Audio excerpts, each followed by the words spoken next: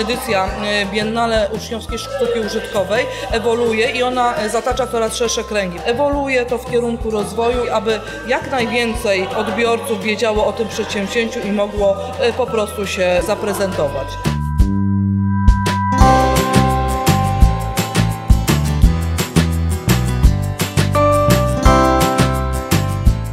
Biennale to była inicjatywa, którą zapoczątkowała e, pani Katarzyna e, Zawadzka, która z ramienia e, WCRS-u i Departamentu Edukacji oczywiście przygotowała tego typu pomysł, który miał generować twórczość młodych artystów w kontekście sztuki użytkowej.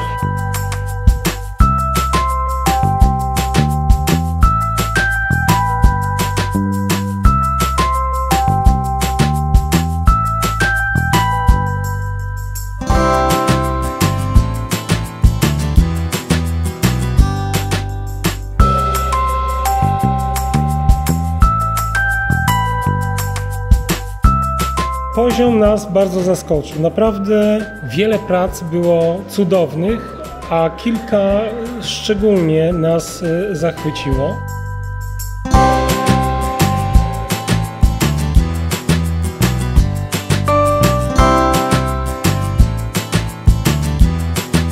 Obrady były burzliwe, bo byliśmy jednoznaczni co do wyboru powiedzmy 10-12 prac. Nie mieliśmy żadnych wątpliwości, że te prace są na najwyższym poziomie i to kwestia tego, jak wśród tych 12 wybrać tą najlepszą, to był jak gdyby główny spór, ale udało się to rozstrzygnąć.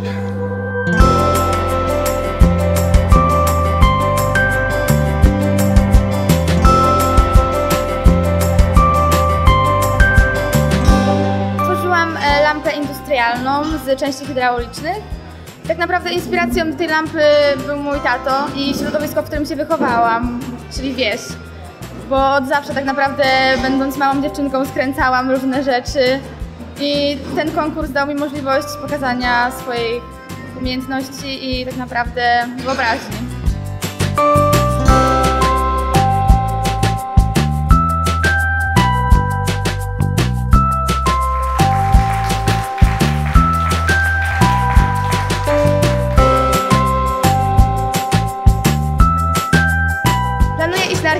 W przyszłości, jeśli się uda, do Wrocławia. Na pewno projektowanie to jest to.